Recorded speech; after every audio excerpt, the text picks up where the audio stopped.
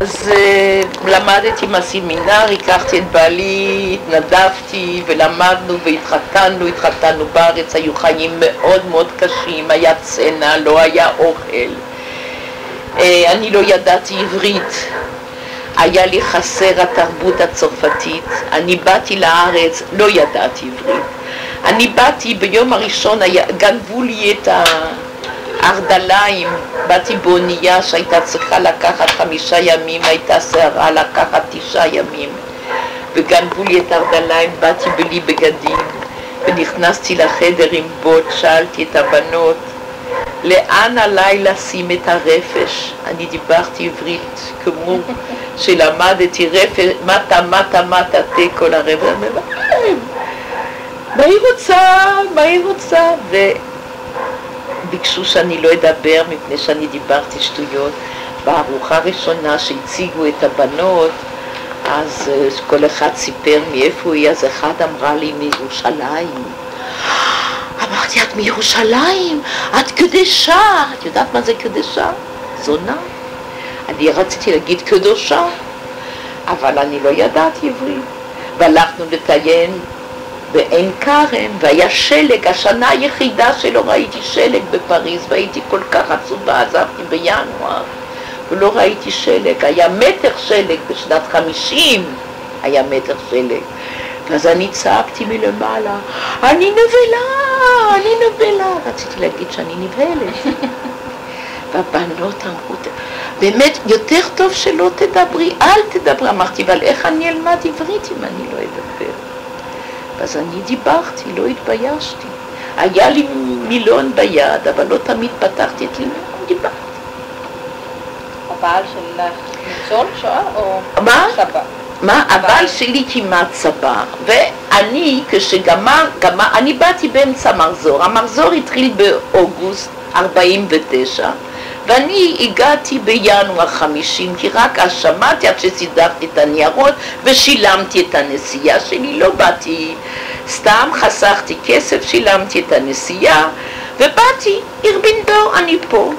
והמנהל מטלפן לעליית הנוער, אומר, הילדה, הבחורה נחמדה מאוד, אבל היא לא יכולה להיות ללמוד מורה, היא לא יודעת עברית. אני היחידה ששילמתי שמה. לאף אחד לא היה כסף, כולם חתמו על שטרות שישלמו אחרי שיתחילו לעבוד. אני אמרתי למנהל, לי יש כסף, אני אשלם. אז הוא אמר, כן, אבל הסמינר נגמר באוגוסט, עכשיו אנחנו ינואר, גם אם את היית מתחילה בזמן, לא היית יכולה להשיג את כל החומר. תגמרי בסוף השנה, לא תהיי מורה, תהיי מדריכה. אין דבר, צריכים מדריכים בשביל uh, ללמד, את ה, ל, לעזור לילדים. ואז חיכיתי למחזור ז', באוגוסט בא מחזור חדש. הנה, האיש הזה בא לי, הגיע, והוא ביום הראשון רואה אותי עם המילון, והוא שואל אותי אם אני יכולה להשיל לו את המילון, הוא היה צריך מילון, הוא לא היה צריך, הוא היה צריך, כי בצבא הוא היה בא בגיל שש לארץ, אבל הוא רצה, אמרתי לו, אני את המילון לא יכולה לתת לך, אבל, כי אני צריכה אותו, אבל אם אתה רוצה אתה יכול לשבת על ידי, אני אתן לך את המילון אם אתה צריך. וישבתי, בשנת חמישים. אחר כך היה, לא היה לנו כסף, היינו צריכים, המורה שלנו הייתה דוקטור נחמה לייבוביץ', את שמעת עליה. והיא דרשה מאיתנו ספר מסוים, לא היה לנו כסף לקנות, אז קנינו במשותף ספר שיש לנו עד היום הזה. מקראות גדולות היה רש"י ורמב"ם וחזקוני ושד"ל וכל המפרקים, ספר הרבה. אבל לא היה לנו כסף, זה היה שמונה לירות וחצי, לא היה לנו כסף. אז לי היה כסף, אז קנינו במשותף. כשנגמר הסמינר, מה עושים עם הכסף? לא יכולים לחתוך את הספר, אז לא הייתה לנו ברירה, התפתנו. היה לנו רק ספר אחד. אז כן, זה אני, היה גם סרטים, כן, התחתנו, יסדנו משפחה, כסף לא היה לנו, עבדתי כמורה, אני, כמובן שהמפקח של עליית הנוער של אגודת ישראל רצה לשים אותנו ביחד בכפר אליהו, כי ידעו שאנחנו חברים, ואני כתבתי לאימא שיש לי חבר, והאימא שלי אמרה, אם זה בן אדם דתי ואם הוא באמת בן אדם טוב, אז את מוכרחה ללכת להורים שלך ולא, שלו ולא להסתובב איתו, אנחנו ממשפחה, את יודעת מאיזה משפחה אנחנו, והתחילה לספר לכל ה... ואז אני אמרתי, אני צריכה לבקר את ההורים שלי, אבל ההורים שלו לא רצו לשמוע. בחורה מפריז קיבל שתי סטירות לחי, הוא לא סיפר לי שיש לו חמישה אחים לא נשואים, הוא היה בן 19 הבחור. אז אה, לא רצה לוותר, אז אמרתי, אני לא יכולה, אמא לא מרשה לי, אם אני לא הולכת לבקר. שלחה לי אפילו, היא שלחה לי אפילו 25 דולר שאני אשלם בשביל איזה מסיבה קטנה, לעשות בבית של ההורים ושיהיה תנועים, שירשמו תנועים. טוב, האבא של בעלי לא רצה לשמוע עליי, אז בעלי עשה לי רשימה שיש כבר 200 אנשים שיודעים שאנחנו חברים. אמרתי, זה לא עוזר לי כלום, האימא שלי, בלי שראיתי את ההורים שלך, אני לא כלום בשבילך, אני לא יכולה. הוא עזר לי הרבה בלימודים, אני מצאתי פטנט, אני לא הייתי ישנה בלילות בשביל ללמוד. ואני, הוא באמת עזר לי הרבה. מצאתי פטנט, הוא ישן בגב של הבנים, אז לקחתי חבל, קשרתי בבוהן שלו, ושמתי את החבל בחלון, ובארבע בבוקר, בשביל לא להעיר את הבנים, לא להסתובב אצל הבנים, הייתי מושכת את החבל, והוא היה קם והיה עוזר לי. דוקטור נחמה לייבוביץ' אמרה שהיא לא אוהבת חברות בסמינר, זה לא, האנשים לא לומדים כשיש חבר וחברה, אבל החברות שלנו, אנחנו היינו היחידים שעשינו שיעורי בית, היה לנו מורה לפדגוגיה שנתן אה, לעשות מערך שיעורים, אנחנו עשינו שיעורים ביחד, הוא עזר לי הרבה, אבל האבא לא רוצה, אבא של בעלי לא רוצה לשמוע. כשהתחלתי לעבוד אמרתי אני לא רוצה לעבוד באותו מוסד של בעלי, גמרנו את הסמינר, אני רוצה לעבוד בירושלים, הוא עובד בדרום, אני בירושלים, בזמן החופשי אני אלך ללמוד באוניברסיטה. ואני רציתי ללמוד, ללמוד, לעבוד בפנימיית בית יעקב, להתחזק ביהדות, והלכתי למנהל ולא ידעתי שזה אסור שיהיה חבר. אני הלכתי למנהל ואמרתי את האמת, ברוך השם אני כבר לא צריכה לשקר. אז אמרתי, תראה, אני בחורה בודדה, אין לי משפחה, אבל יש לי חבר בארץ. ואני אבקש שהוא יקבל יום חופש באותו יום חופש שיהיה לי, יום רביעי, אבל אני לא אלבוש, אפגש את החבר בפינת רוחו ובבית קפה. זה הבית שלי, הוא יבוא לבקר אותי בפנייה. פתח זוג עיניים ששמע. היה לי מפתח גדול שלה, זה היה ברחוב מליסנדר, היה שער גדול, בעשר סוגרים את השער. היה לי מפתח, ולפעמים הייתי באה, היה בצלצלים, והיה איתי איזה בת, באה עם איזה בחור, אה, אה, חונכת שלי, ילדה יותר צעירה, מדריכה יפה, זה היה בן דוד שלי. וכשבעלי, כשהחבר שלי היה בא באמצע היום, הייתי פותחת השער והילדות היו באות, הילדות בנות 16 והייתי אני בת 19, לא הבדל גדול. מדריכה יפה, הבן דוד שלך הגיע, אמרתי זה לא בן דוד שלי, עם הבחור שעל זה אני מקווה להתחתן, זה לא בן דוד שלי, הוא לא דומה לי, תראו הוא שחור ואני בלונדינית, הוא לא דומה לי בכלל, זה לא אח שלי, זה לא בן דוד שלי, זה חבר שלי, פעם אולי הוא יהיה חתן שלי ופעם אולי הוא יהיה בעל שלי. ואני נפגשת איתו מפני שאנחנו נתחתן, ואני לימדתי, הם אמרו לי אחר כך הבנות, את כל כך לא נראית דתית ואת יותר דתית מכולנו, כן? כי אני לא נתתי להם שיחות על גרביים, ולא נתתי להם כל מיני שיחות, כי לא ידעתי איך נותנים שיחות על גרביים, הייתי בחורה פריזאית, לא, יד... לא היה לי לבוש של בני יעקב.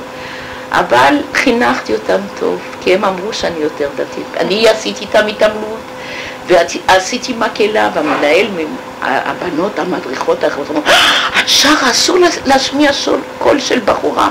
אמרתי, זה, זה פנימייה של בנות, למה שהם לא ישירו? הלכתי למנהל, אמרתי, אסור לי לשיר אה, שירים? אז, אז הוא אמר, אתה מכיר את הסיפורים? כבר בבית יעקב? אז עוד מעט אני גומרת. לא, את לא גומרת. אבל אין לה קלטות יותר, אני צריכה לגמור. בשנת 52, אנחנו עכשיו ב-2000, יש עוד 48 נכון. שנים. זה מה שאמרתי לה. כן, טוב. אז טוב, בקיצור, זהו, אז התחתנו, ללכת יותר מהר. כן. התחתנו, בעלי התרגש, הוספתי על החתיכות שמאלות שלי כל מיני סמרטוטים לבנים. הוא אמר לי שהדת זה דת של, אה, של חיים, וש... התחתנו והיה מאוד קשה החתונה, לא היה מה לאכול וזה היה... לא, לא, לא כל כך מהר התחתנו. אבא, האבא של בעלי אמר לי שהארץ, עשינו אירוסים סוף סוף. האבא של בעלי עשה מחקר וידע שאני ממשפחה מאוד גדולה, הוא סיפר לי מאיפה אני בא, כי אני לא הכרתי. אני נולדתי בפריז, אני לא הכרתי את המשפחה בליטא, אבל הוא עשה מחקר שהאימא של האימא שלי, היא הייתה מורה לעברית. זאת אומרת, הסבתא שלי הייתה מורה לעברית. אז זה להגיד שזאת הייתה משפחה מכובדת. ואז הוא הסביר לבעלי אה, שהעלמה היא עלמה חכמה, והוא הזמינו אותי שאני אבוא חס וחלילה לא איתו, כי לא באים עם חבר, שעלמה תבוא עם העלבה, אם היא באמת נבונה, היא תבוא לבקר, אם היא מזדמנת לתל אביב, היא תבוא לבקר. אז העלמה הנבונה כתבה מכתב להורים הנבונים האלה, העלמה הנבונה אין לה מה לעשות בתל אביב, אין לי משפחה בתל אביב, העלמה הנבונה תבוא אם מזמינים אותה, היא תבוא, ואם לא מזמינים אותה, היא לא באה לתל אביב, העלמה הנבונה. אז העלמה הנבונה, הזמינו אותה בחול המועד פסח, אבל בלי שהיא תבוא לבד. ואני זוכרת שהלכתי לספר ועשיתי תס... פרמננט, ועשיתי לי ציפורניים, ואני באתי ומצאתי בית ריק, רק הסבא נמצא בן אדם עם זקן, ועל השולחן יש בוטנים, ואצלי בבית לא אוכלים בוטנים בפסח. הוא אומר לי, המרצות זה לא, זה לא קטניות, מותר לאכול בוטנים. אמרתי, אני לא יודעת מה זה קטניות, אני בוטנים לא אוכלת בפסח. הוא אומר לי, זה מרצות, זה, זה מותר. חקר אותי, חקר אותי שעה שלמה, והעיקר עשו אירוסין. ואחרי עשרה ימים אה, הורדתי את הבת כי אני לא מרגישה טוב, אני פשוט מפחדת ללבד אותה. קיבלתי את הבת ישנה, עוד שהצליחו להוציא מגרמניה, ואני מאורסת וקיבלתי מזל טוב מהמנהל של בית יעקב. הוא שלח אותי חזרה לצרפת לאימא שלי, כי הארץ מדי קטנה, אתם מדי צעירים, אתם לא יכולים להתחתן עוד, תחזרי לאימא שלך ותרוויחי כסף, תכיני לחתונה שלך. וככה כמו ילדה טובה חזרתי, אבל בעלי חכם גדול מאוד, לא היה טלפון לאמא שלי, הוא יום יום שלח לי איגרת אביר ואני לא ידעתי לקרוא, בקושי ידעתי על עברית ושאל אותי שאלה, שאלות בתורה ובפרשת שבוע ומה קשה לרש"י ומה אומר רבא. ואח שלי רצה לקח אותי לתיאטרון ואמרתי אני לא יכולה מפני שאני צריכה לענות למאיר. והיה תמונה של הרוסים ואח שלי אמר כן אידיוט, איזה אידיוט מה הוא עשה מאחותי? כל יום הייתי צריכה לענות לו מכתב והייתי מאוד עסוקה. נו, ככה זה, באנו, באתי להתחתן, האימא שלי אמרה, היא לא יכולה לבוא לחתונה. לא אחי ולא אחותי לא יבואו לחתונה. היא עשתה חשבון, אם היא תצליח, היא יכולה לקנות לי פריג'דר, היא יכולה לקנות לי חדר שינה. להוציא כסף על, על נסיעה זה בלתי אפשרי. אמרתי, אני לא צריכה פריג'דר, אני לא צריכה חדר שינה. אני הולכת להיות מדריכה במוסד, מורה ומדריכה במוסד, לי איפה לישון. בשביל מה אני צריכה פריג'ידר? אנחנו הולכים לאכול עם הילדים במוסד.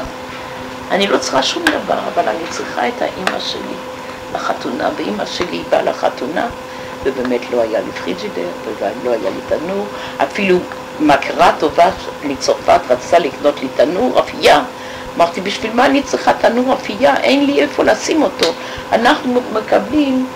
אה, ריבוע של מטר על מטר בשביל לישון, אין מים שם. אני צריכה לחכות עד שהחניכים יתרחצו ב-11 וחצי בערב, אני יכולה להתרחץ. ואני לא צריכה תנור כי אני לא אבשל, אני אוכלת יחד עם החניכים. חיינו חיים מאוד קשים, עבדנו קשה שנינו, שנינו היינו מורים, סיפרתי לך שרציתי ללמוד ובעלי כל הזמן אמר לי, אין דבר, כשתהיי סבתא תלמדי. אז בינתיים גידלתי ילדים, בעלי שלא היה לי תעודת בגרות, גם מה שעשה רושם על, על החם שלי. בחורה, עם תעודת בגרות, כן, את יודעת מה זה היה אז בזמן הזה, תעודת בגרות, בארץ לא היה דבר כזה. אז אני הייתי, באירוסין הוא כתבה, הוא לא התבייש לכתוב, כשבעלי אמר שהוא, שהוא מכיר בפעם בפריז הוא קיבל שתי סירות מצלצלות, אבל באירוסין חמיך כתבה ז'קלין, גולדברג, ירושלים, פריז. כן, אז פתאום זה היה... הם, ידעו שאת ניצולת שואה? כן, בטח שידעו שאני ניצולת שואה. דיברת על השואה? לא דיברתי כלום, לא, לא. לא.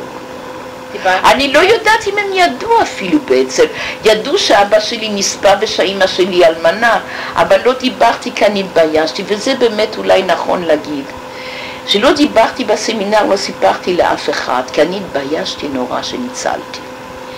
אני לא הבנתי למה אני נשארתי בחיים, ואני פחדתי מהדבר הזה שנשארתי בחיים, ואני עוד רצתי ברחוב בפריז אם אני ראיתי איזה איש דומה לאבא שלי, רדפתי אחריו, חשבתי אולי אבא, אבא לא זוכר אותנו, אולי הוא לא יודע את הבית שלה, אני כל הזמן קיוויתי, לא הלכתי לבית כנסת באזכרת הנשמות, לא רציתי להתפלל, אני בברכת המזון, אני בירכתי את, את אבא, אבי, מורי, והיו לי מעט זיכרונות מאבי, אבל זיכרונות טובים, אז זכרתי את הזוג נעליים האחרון שהוא קנה לי, נעלי בורדו, וזכרתי את המספר של הנעליים, זכרתי את המעיל, מעיל אה, פטרול עם צווארון אה, יותר כהה, זכרתי המון דברים מאבא שלי, אבל לא דיברתי על השואה, ראשית כל, ראשית כל זה לא היה מודה בשואה, כולם דיברו על המדינה שקמה, כולם היו גיבורים,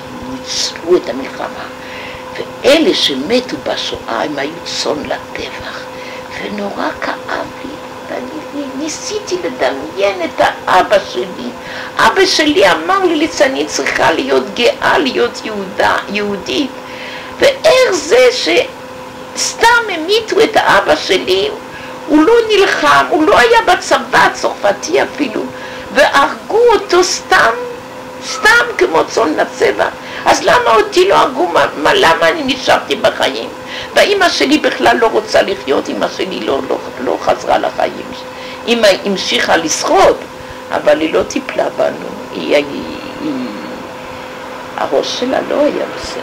תראי, היא עבדה המון אה, צרות בחיים. היא נשארה אלמנה עם שלושה ילדים קטנים, בלי שיניים, בלי שערות, בלי עוד זה. והיא הייתה גם בבית משוגעים, שהיא לא הייתה משוגעת, אבל קשה להישאר נורמלי עם זה. אז uh, אני לקחתי את הרסן, עליתי לארץ, אבל uh, לא דיברתי על השואה בכלל לא. רק בשנת 71 התחילו פה לדבר על השואה, אז אני כל שנה בבית ספר מדברת על השואה, ויש לי הרבה מכתבים, וזה נותן לי את הכוח לדבר, מפני שיש ילדות שאומרות שרק בזכותי הן מאמינות שהשואה הייתה. ילדה בכיתה ז' כתבה לי זו פעם ראשונה שאני מאמינה שהשואה הייתה באמת. כי אני מדברת בגובה שלהם. נכון שלא הייתי במחנה ריכוז, אבל אני מספרת סיפורים לא מספר. אני לא מספרת להם שישה מיליון, כי אף ילד לא יכול לקלוט את זה, גם אני לא יכולה לקלוט את זה. אני מספרת לי שאחרי המלחמה, כשראיתי תמונות של עצמות, וביד ושם שראיתי תמונות של עצמות, חיפשתי אולי זה הרגל של אבא בעצם, אולי זה הרגל של אבא, ואני, כל הזמן אני עדיין מתאבלת על אבא, אני לא גמרתי להתאבל. והביקורים ביד ושם עזרו לי, כי אז ראיתי את ה... אבל אני נורא רוצה לנסוע לאושוויץ, ואני לא נותן לי. ואני לא נותן לי כי הוא אומר שאני לא אוכל לשאת את זה. אני לא יודעת. אולי הוא צודק, אבל הוא באמת רוצה שאני אדבר עם פסיכיאטר, אני בטיפול פסיכיאטרי, כי אני אולי נראית לך נורמלית, אני משתדלת, גידלתי ברוך השם ארבעה ילדים, ארבע כלות, שישה עשר נכדים, הנכד הבכור שלי היה במלחמת לבנון עד שהוציאו אותו מלבנון, כל הבנים שלי שירתו בצבא, ואנשים דתיים, ובעלי טוען ש... יום עצמאות זה חג דתי, כי הקדוש ברוך הוא עשה, עשה לנו נס גדול שיש לנו מדינת ישראל, ואני ביום עצמאות כשאני לא חולה, אז אני עושה עוגה יפה, ואני מדליקה נרות, ואנחנו עושים ארוחה חגיגית, ארוחה יפה, לא ארוחה עם בשר, כי אנחנו אנשים צנועים, אבל אני עושה אוכל יפה ועורכת יפה שולחן. הנה שם אפילו, הנה במקרה יש, יש תמונה בפרוזדור של הנכד שלי, הוא נולד ביום ירושלים. אה, כן? לא, לא, לא, לא, לא, לא פה, אה, בפרוזדור. כן. הנה זה במקרה. הוא עכשיו בן 15, אבל הוא היה בן 9, אז יש נרות ירוקים על השולחן. כי זה יום עצמאות, זה חג אצלנו, וגם יום ירושלים זה חג. זה ח- חג, חג דתי. קשה לך באופן פסיכולוגי. עם ה... תראי, זה לא, זה, קשה לי, זה קשה להגיד, אני הייתי בטוחה שהילדים שלי לא סבלו מהשואה. אני גידלתי את הילדים, הילדים הלכו בבני עקיבא, הילדים הלכו למחנה בני עקיבא, הילדים הלכו לטיול שנתי, אני לא אימא ששמע, אני לא סיפרתי על הילדים שלי, אף פעם לא סיפרתי, עבודה שגם לא סיפרתי לבעלי שלי. אבל יום אחד התחלתי לספר, והבן שלי השתיק אותי, הבן הבכור, הוא עכשיו בן 46, הוא אמר לי, אמא, את מזוכיסטית? בשביל מה את צריכה לדבר על זה? את בארץ עכשיו? למה- למי זה אכפת? אז שתקתי, שתקתי הרבה שנים, עד ששוב, לפני כמה שנים אני נתתי שיחה בבית ספר רבלינה דה רוטשילד, והייתה מחנכת של כיתה א', היא הייתה בכפר הרועה, שם מנהל, בעלי היה מנהל בית ספר. אז היא שאלה אותי, תגידי יפה, עשר שנים את היית בכפר הרועה, אף פעם לא סיפרת לי שום דבר. אמרתי, תגידי, מישהו שאל אותי משהו? לא שאלו אותי, אני לא סיפרתי.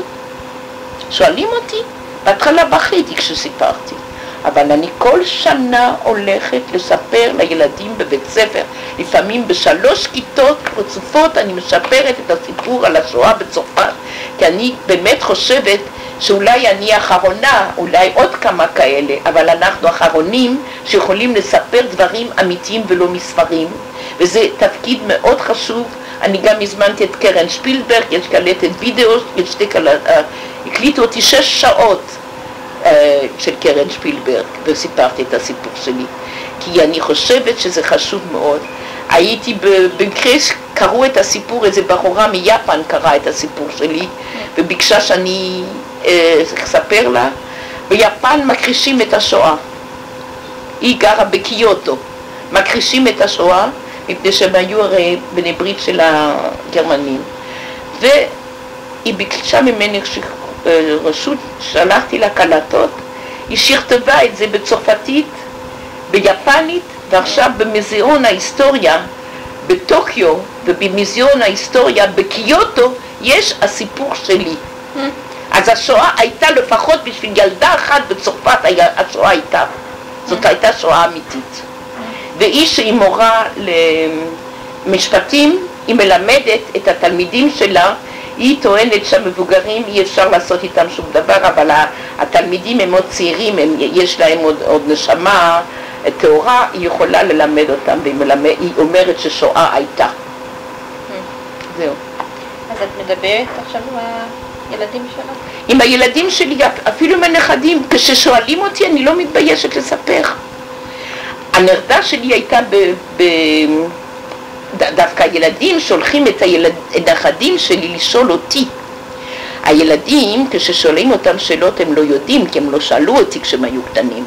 אז הם אומרים, תשאלי את סבתא, סבתא תספר לה, סבתא יודעת. אז הנכדים, אני כתבתי, העדות הראשונה שלי כתבתי ביד ושם בעברית, ולא רציתי בצרפתית, היו מעוניינים בצרפתית כי תמיד מעוניינים בשפת אם של ה... של ה... אמרתי לא, אין לי כוח, אני נותנת בעברית כי אני רוצה את זה לילדים שלי. אם זה מעניין אותם, אז הם יקראו את זה. ושכפלתי ויש לי 59 עמודים מכתבים בעברית. לא ספר, זה סתם. אחר כך כתבתי גם ספר. אז זה יש, והנכדים שלי לוקחים את הספר ב... ומעניין, את רוצה לראות כמה מסמכים? כן, שנייה, אני... כן. כן. קודם כל, יש לי כמה שאלות. אני הרגשת טוב בארץ? תראי, בארץ הרגשתי רע, מפני שלא ידעתי את השפה, ואני הייתי רגילה ללכת לתיאטרון, וקראתי המון ספרים, ולא יכולתי לקרוא ספרים.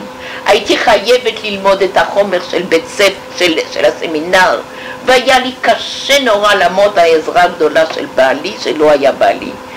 הייתי תלמידה טובה מפני שהלימוד תמיד אצלי היה מאוד חשוב, אבל הרגשתי זרה מאוד, זרה, מבוישת, ורק הרבה שנים אחרי זה, לפני שנתיים, היה כנס של מזר...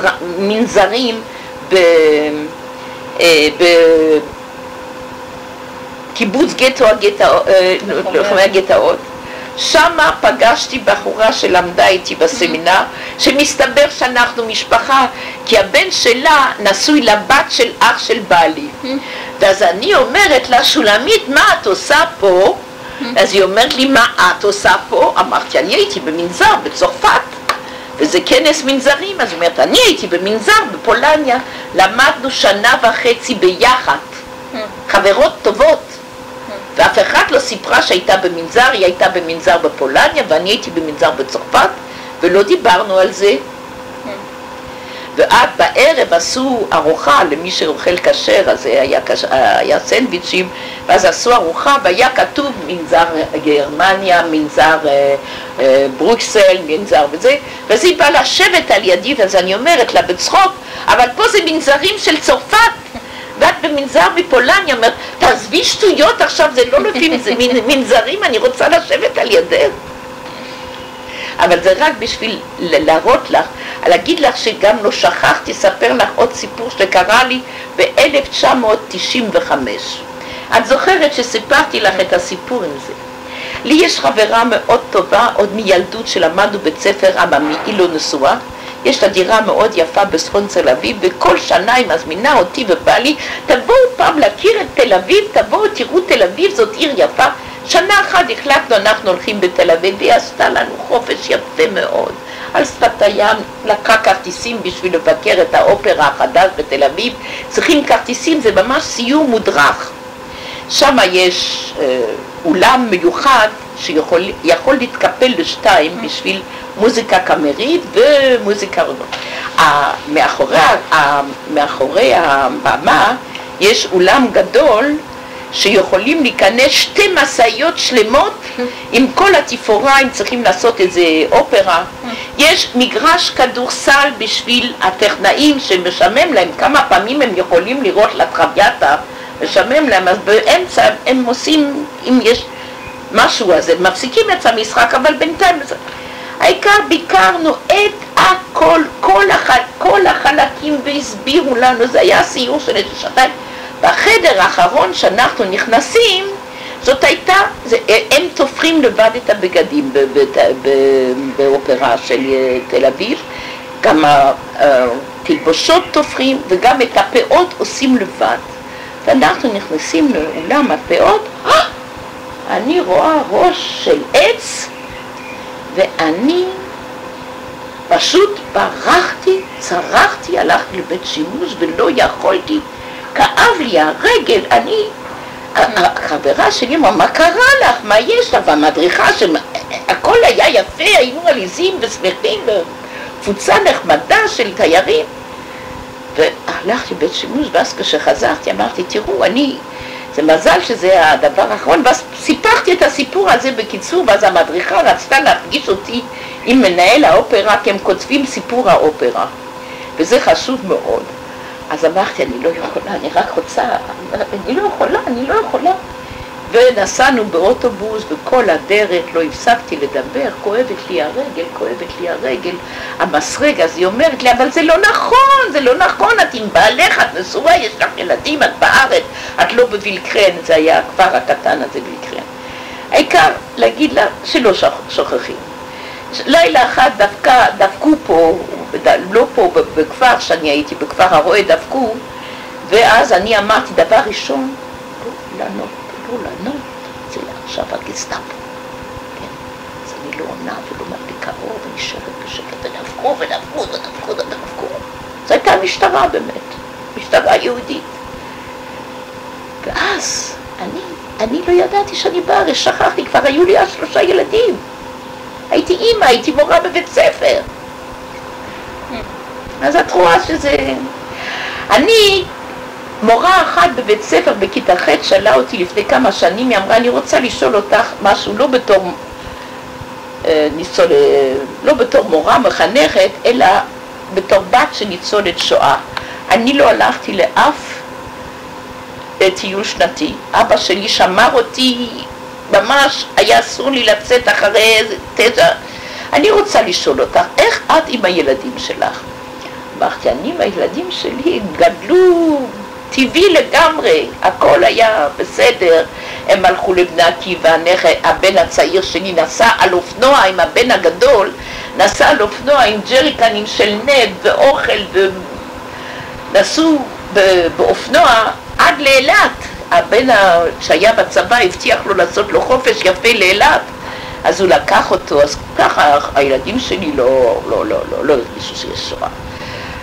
כלה שלי ממצפה הושעיה בגליל מטלפנת לי איך היה השיחה היום בבית ספר, אמרתי כן, מעניין איזה מורה שאלה אותי איך אני הייתי אימא לילדים שלי. אז אמרתי ברוך השם הילדים שלי לא הרגישו שיש להם אימא של שואה. אז היא אומרת לי יפה יש לי חדשות בשבילך. תשאלי את הבן שלך אם הוא לא יודע שאת היית